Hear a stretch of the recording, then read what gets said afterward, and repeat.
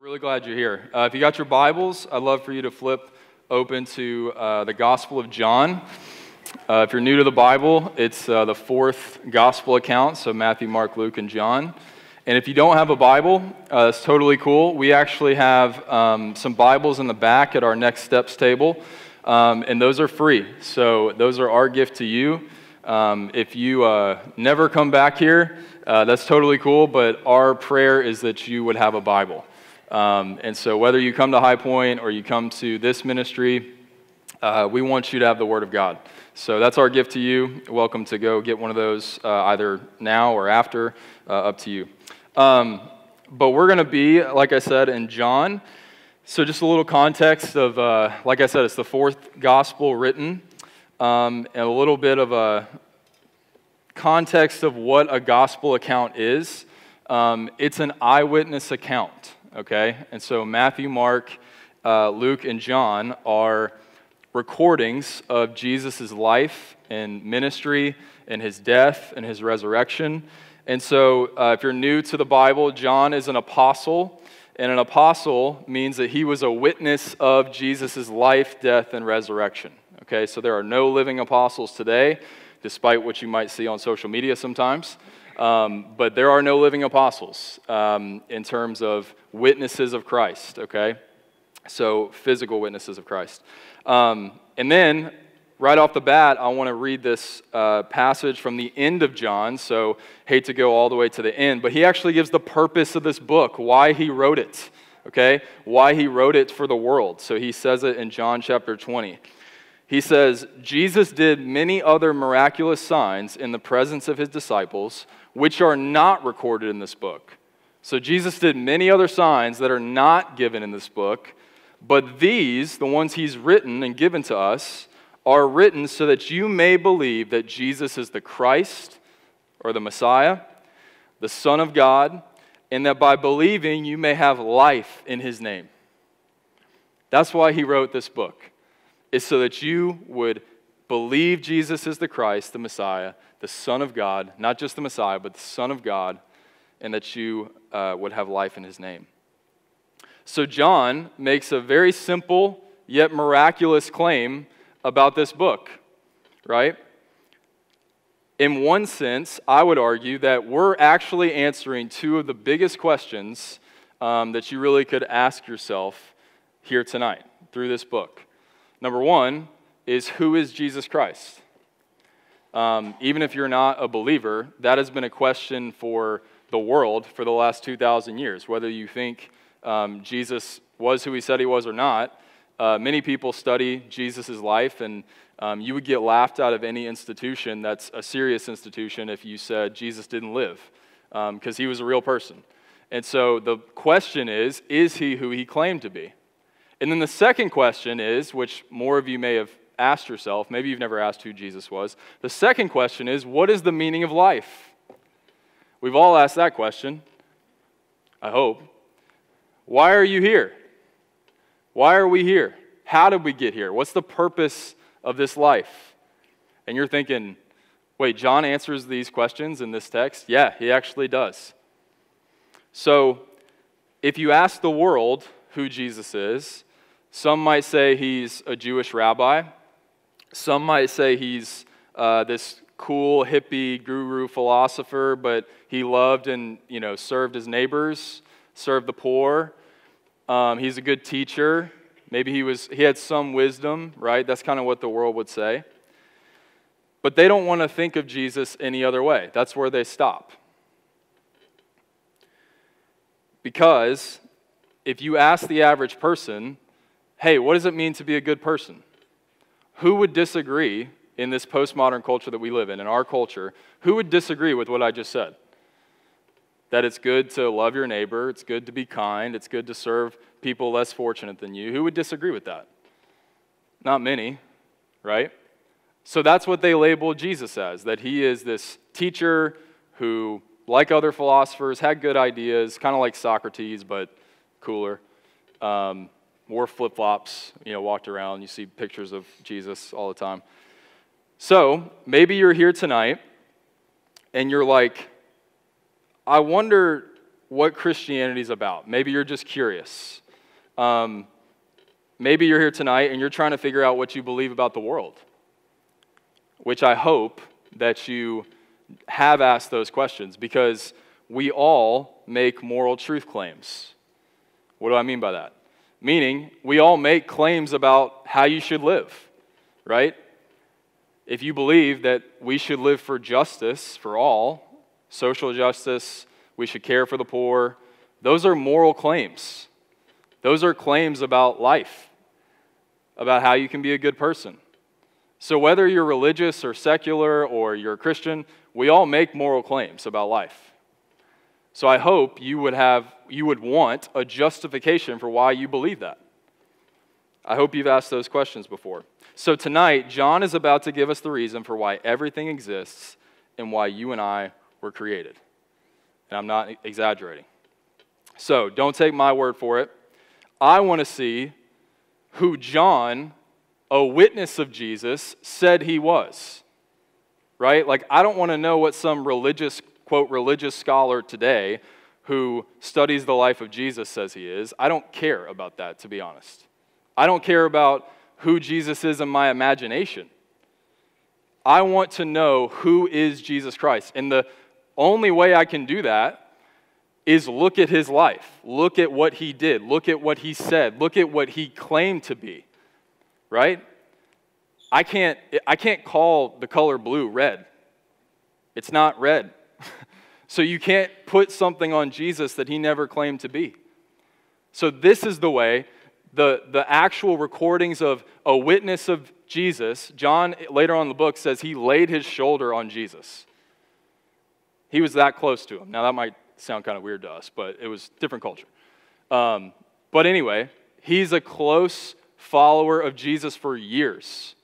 I want to know who he says he is. I want to know what Jesus said about himself. That's how you know who Jesus is. So let's read the text. So, John chapter 1, verses 1 through 8.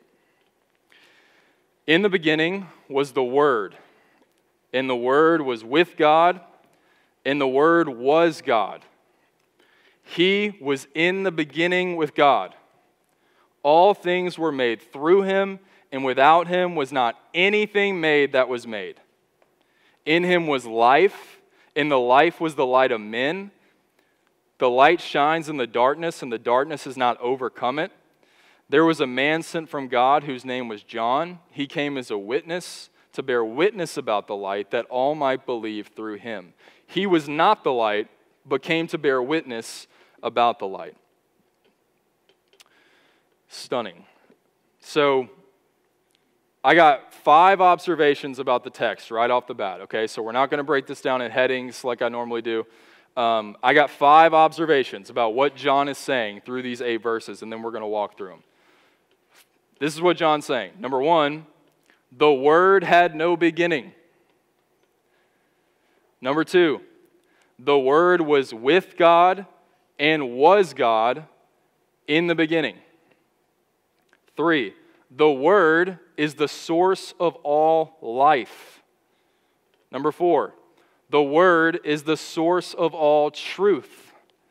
Number five, this book is about witnesses of the Word. That's what John's saying. So, John describes right off the bat, he was a follower of Jesus for three years. He wrote this about 90 AD, so he was the longest living apostle. He was the last apostle to die. So he had a lot of time to think about this. He had a lot of time to think about how am I going to start this book? Right? And this is how he starts In the beginning was the Word. He goes back to the beginning, not when Jesus was born, right? He goes back to the beginning of time, before there even was time, in eternity. Everything had a beginning. You and I had a beginning. The world had a beginning. The universe had a beginning. Galaxies had a beginning. Matter had a beginning. The Word didn't have a beginning. Before anything was created, before there was any sort of material or energy in the universe, there was the Word. that should stun us. That should jar us of what he's claiming. So I want to figure out who, who is this word? What is this word? What is he talking about? Now, in order to truly understand what he's saying, we need to have some context about the word that he's using, okay? So the word, literally the word in Greek for the word is logos or logos, if you've heard that word before. You can hear the word logic in there.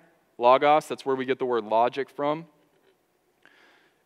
And that word, the Logos, had a ton of cultural significance to who John was writing to. So there's the Greek audience, because John wrote this in Greek. Greek was the, the dominating culture at the time when he wrote it. And then there's the Jewish audience. So he wrote it to both Jews and Greeks, or Gentiles. Now, the Stoics, so there's a group of philosophers, of, of Greek philosophers called the Stoics. There's a bunch of different groups. The Stoics believed that the Logos was the rational principle by which everything exists. Okay? And what I mean by that is they looked at the world, they looked at creation, and they were like, huh, it sure is pretty balanced. It sure is pretty in order, right? There seems to be this order in the universe. Like everything has a look to it, everything has a reason. It seems like there's a balance to the universe. They called this the Logos, okay? And it was just a principle. It wasn't personal. It wasn't a personal God. It was just, there has to, we had to have come from something. So there must have been this energy that began everything. That's what they believed, okay? So, to be honest, it's really not that different than what a skeptic would say today. Right? There, got, I mean, you got to believe we came from something. So, at some point, this energy started, and everything came into existence, right? It's not personal, it's not a God, it's just a thing, it's just an energy. It's a cosmic energy or principle. That's what you kind of have to say today. So, there was a lot of debate among the philosophers what is the Logos? What is the reason for life? Why are we here? What's the purpose? Okay? The one group, the Stoics, they thought life was about self control. They thought the Logos was, oh, you got to suppress your emotions because emotions aren't going to last in the afterlife. You got to you got to just get through things. You got to suffer and you just got to take it. That's how you get to know this logos. That's how you align yourself with ultimate reality. Then the other group, the Epicureans thought, no, no, no. Life is about figuring out how to be happy. Okay? So it was suppress your emotions or you got to be happy. Figure out what makes you happy that's the Logos. Okay? So those are the competing things at the time. But in general, Greek philosophers thought there's a Logos, it's not personal, it's just a cosmic principle. And all of us need to figure that out and align ourselves, and that's how we get aligned with ultimate reality. Okay? So that's the Logos in the Greek context. In the Jewish context, you should know, Genesis 1 1, the very first verse in the Hebrew Bible says what? In the beginning, God created the heavens and the earth. Right? So, and then verse 3 says, God said, Let there be light. So, God created things by His word. When He speaks, life gets created. So, John knows this. So, he thinks about this. He says, Okay, in the Old Testament, God's word is how He spoke everything into existence. And then the Greek context, the logos, the word, that's what he uses. And he says, there is a logos, but it's not a cosmic principle. He's a divine person. That's what he said the logos is. In the beginning was the word. He was in the beginning with God. He puts a personal pronoun to it. He says it is personal. The logos is personal, and it's a he. It's he's a divine person. That's stunning. And that's huge. And that should stun us what he's claiming. Verses, the rest of verse 1 and 2. The Word was with God, and the Word was God. He was in the beginning with God. So, a lot of people uh, who, um, I guess, critique the Bible uh, critique what Christians say or believe, they will say, well, you know, the word Trinity is not in the Bible, right? As if like we didn't know that. Um, and we're like, yeah, no, you're right. Trin- the word Trinity is not in the Bible. Let's just make that clear. I've looked, it's not in there, okay? The problem is there's verses like this that say the Word was with God, the Word was God. Okay, those aren't the same thing. Can we agree on that? That's not the same thing. You can't be God and also be with God and not be multiple persons, right? So that's where verses like these, Christians go, oh, it seems like God has revealed himself as one God. He is one God, but he has tr- three persons to him. He has three distinct persons. The Word was with God, the Word was God. It sounds like two distinct persons, okay? Not two distinct gods, one God, distinct persons. But more on that later on, okay? Because he doesn't reveal the third person of the Trinity here. So he will later on in his gospel. So we'll cover that more. But the creator of everything, we know from all of Scripture, is tri personal. He's one God, three distinct persons within himself Father, Son, and Spirit. Okay? Now, all other philosophies and beliefs up to that point said that the universe was about like I said, finding a set of principles to align yourself with so you can be aligned with ultimate reality. Because don't you want to figure out why we're here? Don't you want to have a purpose for your life? Don't you want to have an ultimate reality for your life? Yeah. People have been saying that for thousands of years. And so the Greeks thought it's a set of principles. You got to figure out what to do. What do we do? Right? So that's what they thought. Verse 3 it's almost like John saying, verse 2, like, hey, just in case you were confused about verse 2, because you're kind of like, okay, is the word, so he's with God, he was God. Are you sure you're saying he's God? Well, let's look at verse 3. In case you're confused, all things were made through him, and without him was not anything made that was made. Just in case you were confused whether the Word is God, nothing, look around, Nothing was made without him. That's pretty clear, I think. I hope. Right? All things were made through him. Without him was not anything made that was made. The eternal Son is the creator. Now, where do I get Son? You're like, I don't see Son in there. Well, I have to cheat a little bit and go to verse 14, which we'll cover next week. But in verse 14, he says, The Word became the same word that he says in verse, verses 1 through 3 that word became flesh, put on flesh, and dwelt among us. And we have seen his glory. Glory is of the only Son. So he replaces word with Son, the only Son from the Father. Okay? So that Son was in the beginning with God, was God, created all things. The eternal Son of God is the Creator. So, Pretty stunning, right? He's claiming that Jesus Christ didn't have a beginning, that he created all things. Now, we need to pause and recognize John was Jewish. okay? John was Jewish, and so if what he's saying is not true, that's blasphemous.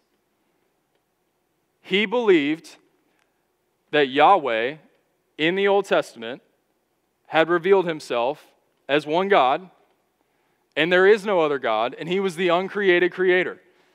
And that he thought you could, as God had revealed himself at that time, you couldn't actually see God, right? You couldn't physically see him, and you wouldn't see him until heaven. That was his worldview, as God had revealed himself through the Old Testament scriptures. And now he's saying Jesus Christ, somebody who had human flesh, is the creator. So if that's not true, that's blasphemous. Right? That you can't just go past that. That's a blasphemous claim if it's not true. If Jesus isn't God, John, I mean, in the Old Testament, he would have gotten killed for being a false prophet. So, John has this view from the Old Testament that Yahweh is high above us, uncreated creator. You can't see him. He's calling Jesus Christ, that's God. That's meant to stun us. He took years trying to figure out who Jesus is. And this is how he begins his book. He went all the way back to the beginning. He said, That's God. So, this same creator who revealed himself to Israel as Yahweh, John's claiming he put on human flesh, which is a miracle. It's called the incarnation. You didn't think you were getting a Christmas message tonight, did you? That's what Christmas is about. Christmas is not about what the culture thinks it is. Christmas isn't even about what Christians make it about sometimes. Christmas is about God putting on human flesh. Christmas is about the miracle of the incarnation. If you don't believe me, this is 700 years before Jesus was born. This is Isaiah chapter 9. For to us a child is born, to us a son is given. Oh, there's that word. A son is given. And his name shall be called Wonderful Counselor, Mighty God, Everlasting Father, Prince of Peace. That's 700 years before Jesus is born, prophesying the incarnation. Verses five, 4 and 5. In him was life, and the life was the light of mankind. The light shines in the darkness, and the darkness has not overcome it. In him was life. Think about that. The Word is life. Before anything was, there was life, and it was Him. The Word is the source of all life. So He said so far, if you're keeping track, the Word had no beginning. He was God and was with God in the beginning. And now He says, in Him was life, which means life had no beginning. There has always been life. The triune God having perfect love within Himself forever. Before anything was created, there was life. Now, if you're an atheist, you have to say the opposite. You have to say that life came after matter. Right? You have to say the opposite because we came from somewhere, right?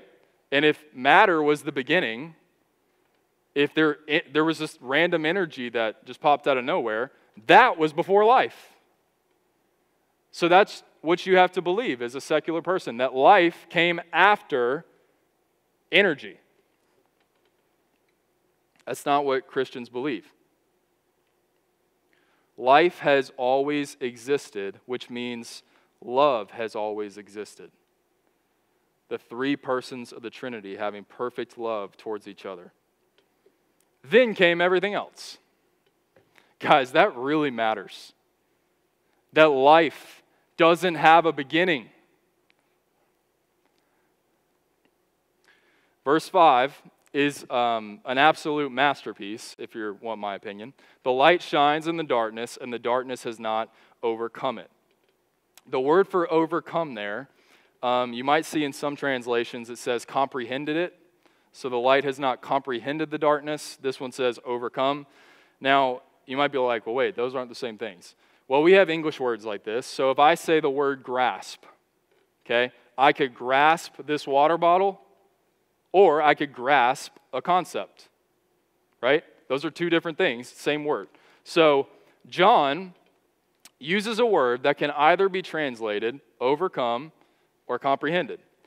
Now, what I think is so interesting is um, you can, so uh, Dr. Tim Keller says, the way that you can reject Jesus is one of two ways if you look at this verse. Number one, you can reject Jesus because you are opposed, completely opposed to the idea of your need of a Savior. You can just oppose Him, right? And that's the overcome. That's the light has not overcome the darkness, which means the darkness is in direct opposition to the light. If the darkness is trying to, uh, uh, to overcome the light, and he says the light has not overcome it, that means it's in direct opposition of it, right? So that's one way to reject Jesus is to say, I don't need a Savior. I can be good on my own, right? That's one way. And that's today's secular culture. If you're a relativist, meaning truth is not objective, truth is subjective, truth is what I make it to be, that's relativism. That's, you can't tell me what the truth is. What I believe is what I believe, and that's true. You can't tell me what's true for my life. That's, you're a relativist, okay? So that's rejecting the truth. That's saying, I don't need it. That's one way. The second way to reject him is to not comprehend him.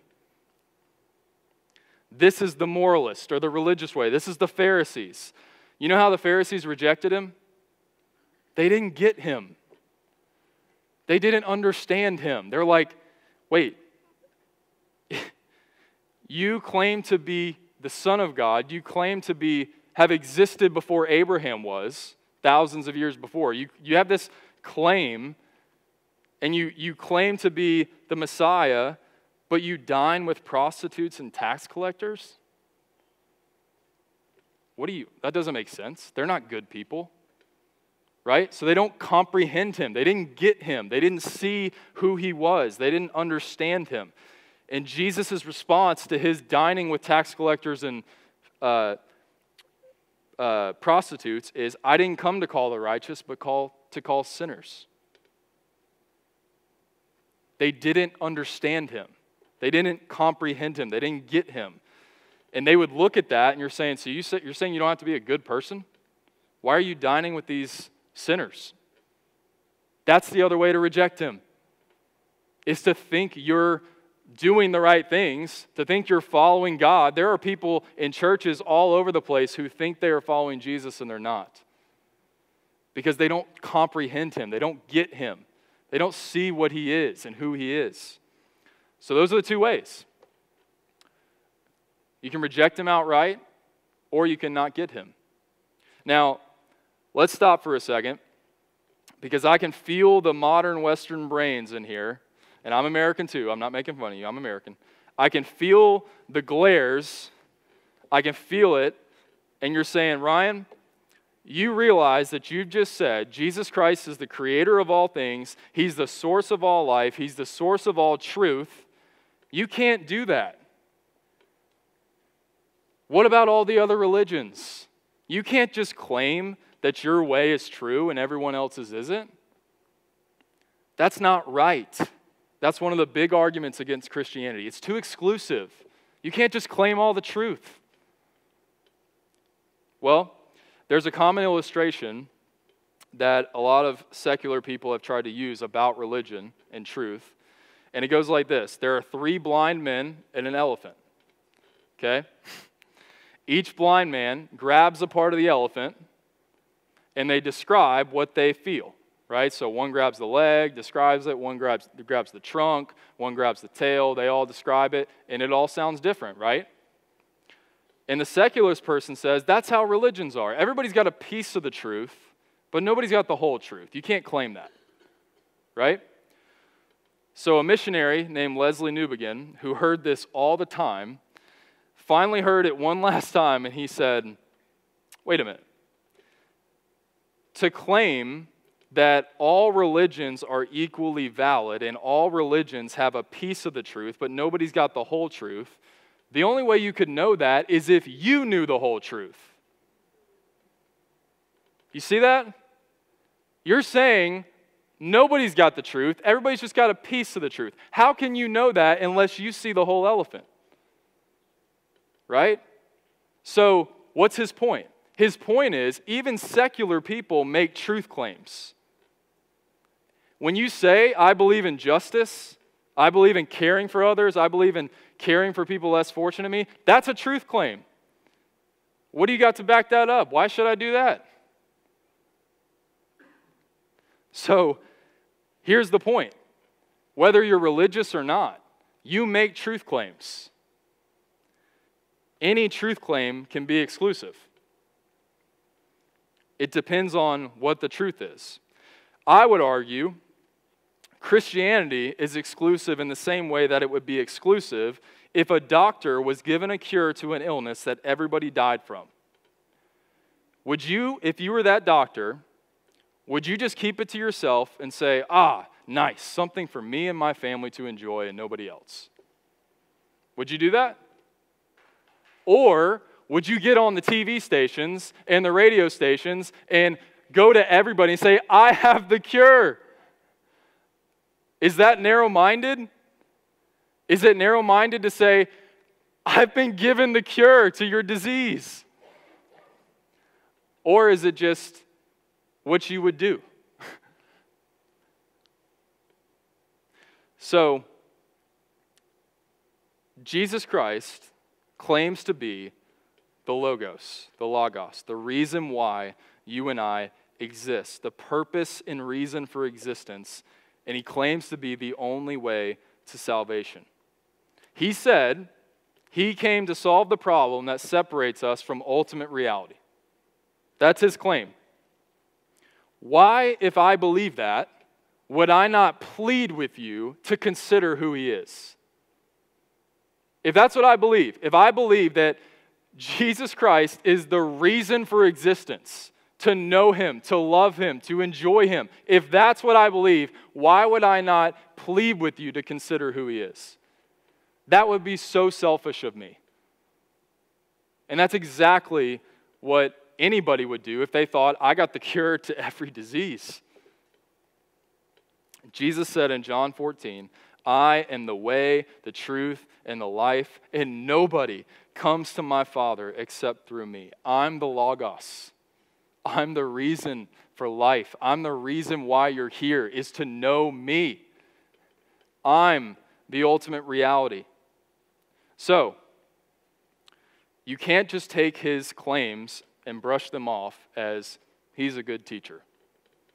He doesn't claim that. So, we've seen the Word had no beginning. The Word was God and was with God in the beginning. The Word is the source of all life. The Word is the source of all truth. And finally, we see in these eight verses, this book is about witnesses of the Word. He concludes by saying, verse 6 There was a man sent from God whose name was John. He came as a witness to bear witness about the light, that all might believe through him. He was not the light, but came to bear witness about the light. Now, this is not John the Apostle. He's not talking about himself. He's talking about John the Baptist, another John, which we'll talk more about that soon uh, because he has a whole, pretty much a whole section in the next chapter, or the end of this chapter about him. So we'll talk more about him soon. But um, I want you to see this about John, of what he's saying here. John the Baptist, who he's claiming, or who he's writing about, embodies what, a be, what being a Christian is. He doesn't identify himself as the light or even a mini light, right? John doesn't say, Look at me, I'm kind of like him, or I'm a mini light, I'm trying to be like him. No, that's not what he says. This is what separates Christianity from every other religion or set of beliefs in the world. If Jesus was just a religious founder, like others, he would have came and said, Here are the set of principles and rules that life is about, and if you do all these things enough, you'll reach the true reality. Right? That's what he would have said. That's what other religions say. This is what life's about. These are the things you have to do to align with ultimate reality. Go do them, and do them as well as you can. That's what religion's about. That's also uh, what secularism is about because, again, who would disagree that you should be a good person? Right? So you make all these claims. You say, I'm trying to do the right thing. I'm trying to be a good person. So, religion, secularism, it's here's the way to live a good life and be a good person.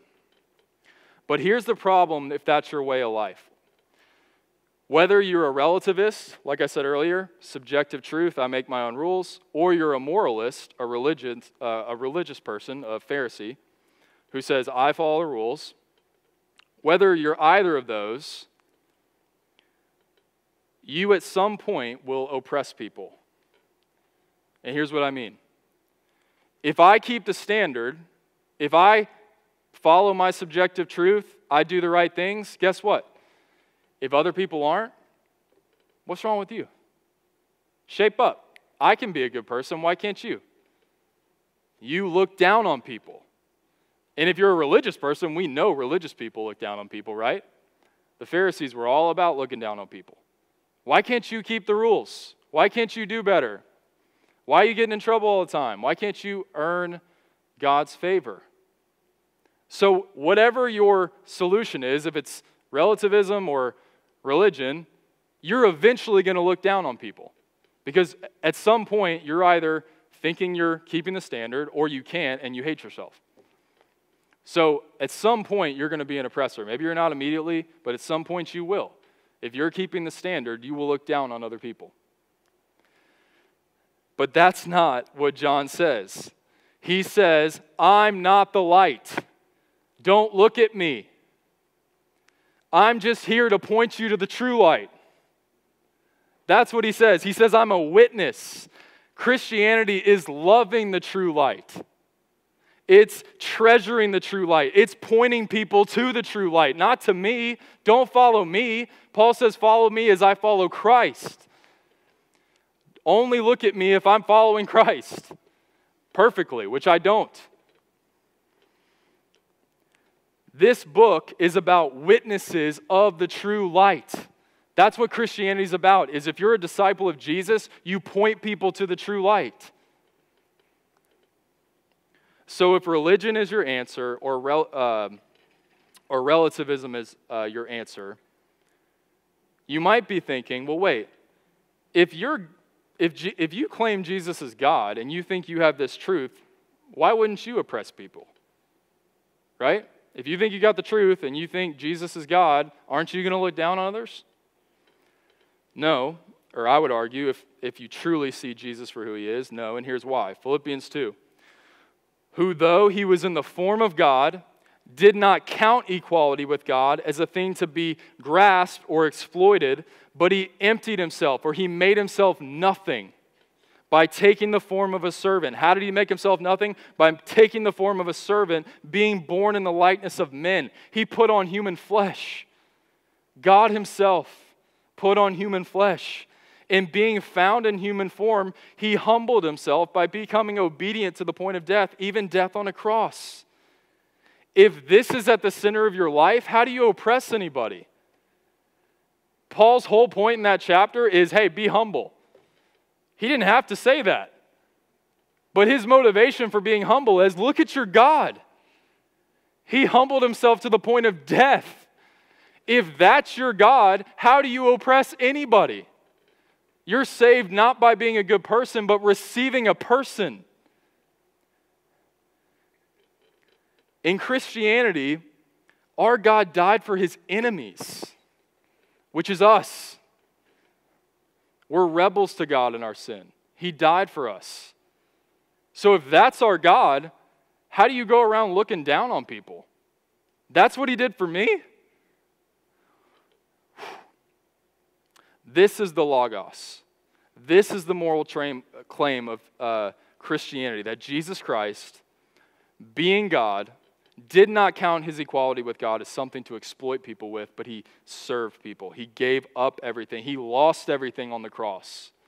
If you receive this Jesus by grace, man.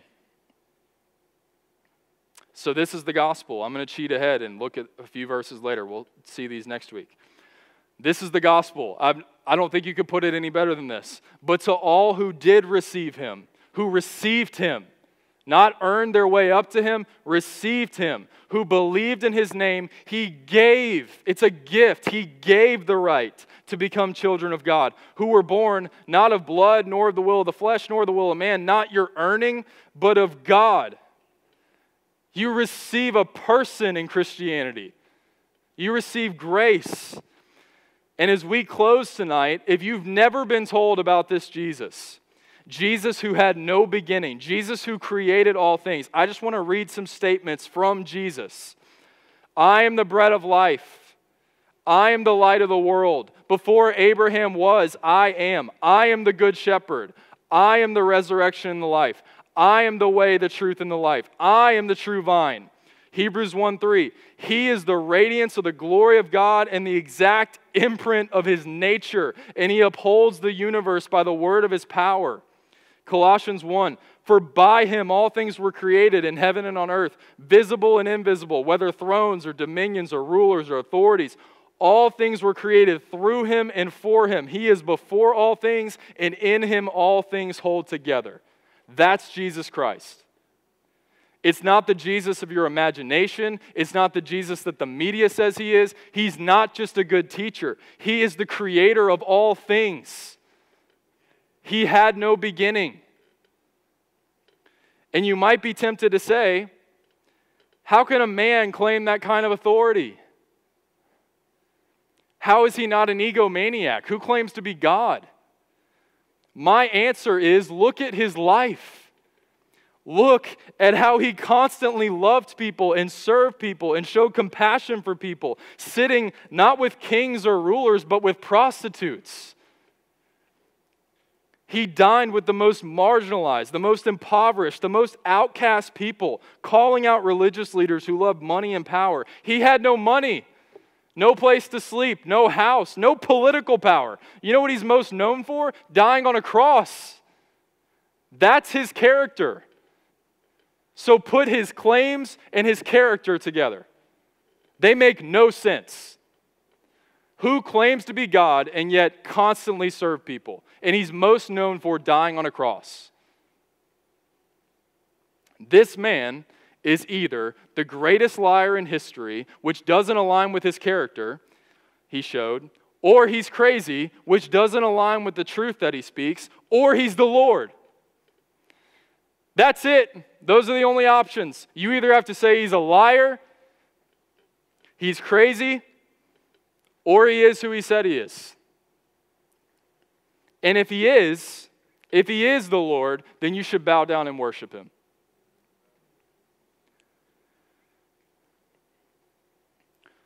So, as we close, in light of who this eyewitness claims that Jesus is, here are the three questions every single person in this room, including me, has to ask ourselves. Number one, do you believe in this Jesus? The divine word, the creator of all things. Is this Jesus who you believe in and follow? God who put on human flesh. Number two, is this Jesus the treasure of your life? Because you know what's scary? Even the devil knows Jesus is God. The demons shudder at his name. So, what's the difference? They have an intellectual knowledge of, yeah, he's God. I can't do anything about it. So, what's the difference? They don't know him. They don't see him for who he is. They don't treasure him. They don't enjoy him. They don't delight in him. They don't know him. They know him. They don't know him.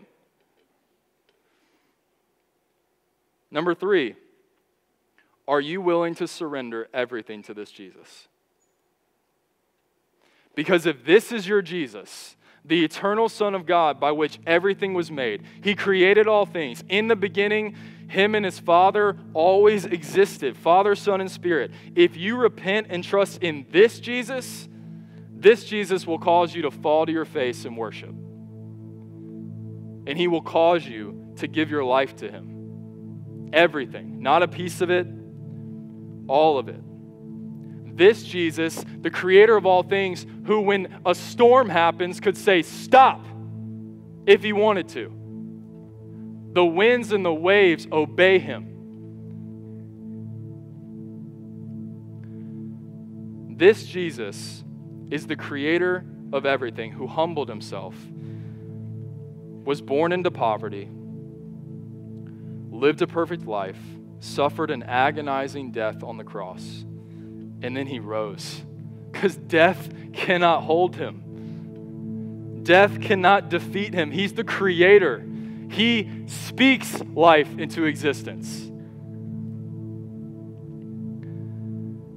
He rose three days later, and now he's back at the right hand of the Father on his throne. If you believe and trust in this Jesus, this Jesus who commands the galaxies by the word of his power. This Jesus who commands the waves and the winds.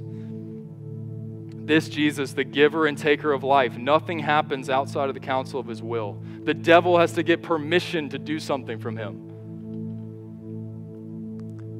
This Jesus who looked at the tomb of Lazarus and said, Come out. When he speaks, life happens. And he obeyed.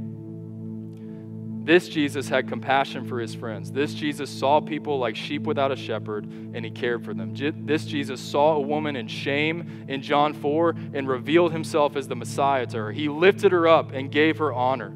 This Jesus cried out to his Father in the garden, sweating great drops of blood because of the agony before going to the cross. This Jesus is perfect grace and truth. There is nobody like him. Behold this Jesus. Give your heart to this Jesus. Let's pray. Father, thank you for your word. Lord Jesus, thank you that you are who you are and not who I say you are or not who I think you are. You are who you are. You are ultimate reality. And God, you came to this world to reveal what real life is, what ultimate reality is. And it's to know a person, it's to know the God of the universe. This is what we were made for. It's to know you and enjoy you and follow you in joyful obedience. So, Father, I don't know what people have thought Jesus is coming in here tonight. But Lord Jesus, I pray that you would call your sheep by name, that they would see you for who you are, that they would see you, Jesus, as the glory of God. Father, I, uh, like Kyle said earlier, if you're looking for an example as somebody who doesn't sin, then don't look at me. I'm a sinner in desperate need of your grace so, Father, I pray that if there is anybody in here who does not know you, I pray that you would reveal yourself to them. God, we love you and we praise you in Christ's name. Amen.